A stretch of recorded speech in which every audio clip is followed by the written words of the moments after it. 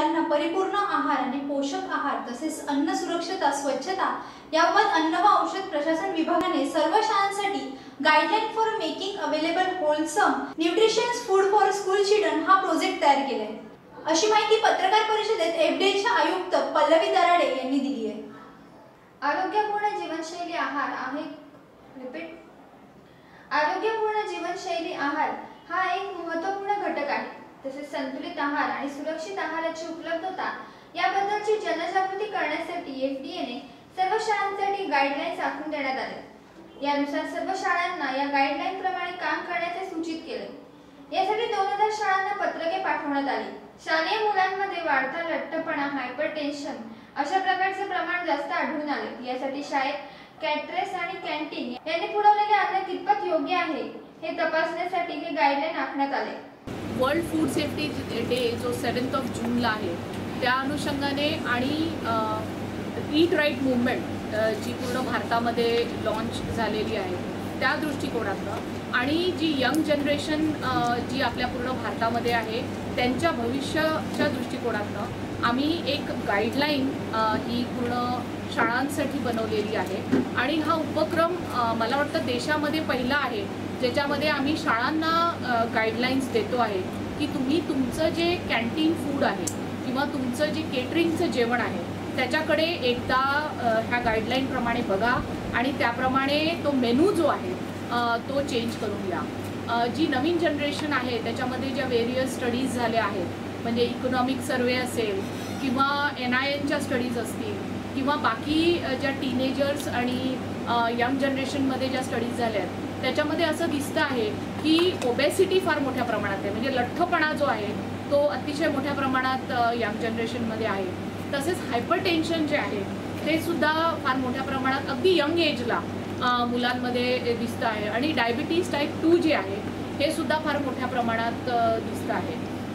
आणि जेव्हा याचे आपण कारण शोधले तेव्हा आपल्या लक्षात येतं की जे हाय फॅट सॉल्ट आणि शुगर कंटेंट म्हणजे एच एफ एस एस हे फूड जे आहेत म्हणजे जसं चिप्स असतील किंवा बर्गर्स असतील किंवा आईस्क्रीम्स असतील किंवा मिल्क चॉकलेट्स असतील किंवा फ्राईड फूड असेल ह्या सगळ्यांचं डायरेक्ट रिलेशन ह्या सगळ्या डिसीजेसशी आहे. आणि मग जेव्हा आपण आपलं जेवण बदलून ह्या सगळ्या गोष्टींना ॲड्रेस करू शकतो तर मला वाटतं ही सगळ्यात चांगली संधी आपल्यासमोर आहे. आणि महाराष्ट्रामध्ये हा पहिला प्रयोग आपण भारतामध्ये करतो आहे ज्याच्यामध्ये आपण एक पूर्ण डिटेल्ड पत्र कन्सर्न प्रिन्सिपल्सला व्हाईस चान्सलर्सला लिहिलेलं आहे. आणि ह्या पत्र आणि ह्या गाईडलाईनमधनं आम्ही शाळा आणि कॉलेजेस दोघांपर्यंत पोहोचण्याचा प्रयत्न करतो आहे. ह्या गाईडलाईन्स आणि हे पत्र आमचं पूर्ण आमच्या वेबसाईटवर म्हणजे F D A dot Maharashtra dot G O V dot in ह्याच्यावर आमचं पत्र आहे. आमची रिक्वेस्ट अशी आहे की प्रिन्सिपल्सनी हेडमिस हेडमास्टर्सनी ट्रस्टीजनी जे कोणी ह्या गोष्टी बघता आहेत त्यांनी हा डाउनलोड करून घ्यावा हा पत्र. हे पत्र डाउनलोड करून घ्यावं आणि ह्याच्यावर काम सुरू करावं. वन्स माय लेटर गोज आणि आम्ही त्याच्यासोबत ज्या गाईडलाईन्स दिलेल्या आहेत त्या इटसेल्फ इज कन्व्हिन्सिंग म्हणजे मी तुम्हाला म्हणेन शंभरपैकी ऐंशी ते नव्वद टक्के लोक स्वतःच कन्व्हिन्स होते. आणि एकदा मी सुद्धा हे परत परत गाईडलाईन्स वाचल्या तर मला असं वाटतं मी अजून सहा महिने आधी का नाही केले. No it is so convincing so eighty ninety percent will be taken care of this second thing तुम्ही जो दर्जाची गोष्ट म्हणता आहात we are looking at not that we are not looking at it खूप साऱ्या कॉलेजेसच्या कॅन्टीन्स आम्ही कव्हर केलेल्या आहेत. स्कूलच्या कॅन्टीन्स आम्ही कव्हर केलेल्या आहेत. इन्स्पेक्शन्स केलेले आहेत. ॲक्शन्स घेतलेले आहेत. स्टॉप वर्क दिलेले आहेत. प्रॉसिक्युशन्स लॉन्च केले आहेत ॲडज्युडिकेशनमध्ये घेऊन गेलो आहे तर ती ॲक्टिव्हिटी सायमल्टेनियसली सुरूच आहे. तसेच एफडीए विभागाने या संदर्भातील पोस्टर्स आणि पोषक आहार कशा पद्धतीने मुलांना देण्यात यावे याची माहिती एफडीएच्या वेबसाईटवर उपलब्ध केली आहे. हा न्यूजमधनं मी चंदन पाटील. आपण दराडे मॅम बरोबर आहोत. मॅम तुम्ही जे आता कॉन्फरन्स घेतली प्रेस कॉन्फरन्स तुम्ही म्हणलात की लहान मुलांना आपण फूड प्रोव्हाइड करायचं राईट तर तुम्ही जे शाळेमध्ये कॅन्टीनमध्ये तुम्ही पॅक फूड देतात टीचर्स किंवा कॅन्टीनमध्ये प्रोव्हाइड केले जातात तर त्याबद्दल तुम्ही काय काय बोलू शकता? कारण तिथनं तर जातच ना मुलांना. एक्झॅक्टली आम्ही त्याच गोष्टीला ॲड्रेस करायचा प्रयत्न करतोय की जिथे कुठे कॅन्टीन आहे किंवा केटरिंगचं जेवण आहे किंवा मुलं जे काही डब्यामध्ये घेऊन येत आहेत तर कुठेतरी ह्या जेवणाचा संबंध डायरेक्टली त्यांच्या हेल्थशी आहे. म्हणजे त्यांना डायबिटीज हायपरटेन्शन आणि ओबेसिटी हे फार मोठ्या प्रमाणात ह्या जेवणामुळे होतं आहे. तर हे कुठलं जेवण आहे ज्याच्यामुळे डायबिटीज हायपरटेन्शन ओबेसिटी होते आहे? तर ते काही ट्रेडिशनल फूडमुळे होत नाही किंवा घरी बनवलेल्या फूडमुळे होत नाही आहे. तर कुठेतरी ते मुलं फार मोठ्या प्रमाणात पिझ्झा म्हणा किंवा फ्राईड फूड म्हणा किंवा चिप्स म्हणा किंवा चॉकलेट्स म्हणा किंवा आईस्क्रीम्स म्हणा फार मोठ्या प्रमाणात. म्हणजे खाऊ नये असं म्हणणार नाही पण तुरळक प्रमाणात असलं पाहिजे. कुठेतरी त्याच्याबद्दल एक कंट्रोल असला पाहिजे. हे मला वाटतं आपण बघितलं पाहिजे. दुसरं शाळा आणि कॉलेजेसमध्ये फार मोठ्या प्रमाणात हे जे H F S S foods आहेत चिप्स म्हणा बर्गर्स म्हणा ह्याचं फार मोठ्या प्रमाणात प्रमोशन होतं. आणि मुलांना मुलं आर नॉट द बेस्ट जज त्यांना कळतच नाही काय आहे. त्यांना चांगलं वाटतं टेस्ट वाटतं स्वस्त आहे चांगलं आहे खाऊन घेतात. पण ह्यामुळे त्यांना फार मोठ्या हेल्थ इश्यूजला भविष्यामध्ये सामोरे जायला लागतं. आणि त्यामुळे कुठेतरी आपली ही रिस्पॉन्सिबिलिटी आहे की आपण शाळांच्या मॅनेजमेंटला अवेअर केलं पाहिजे मुलांना अवेअर केलं पाहिजे.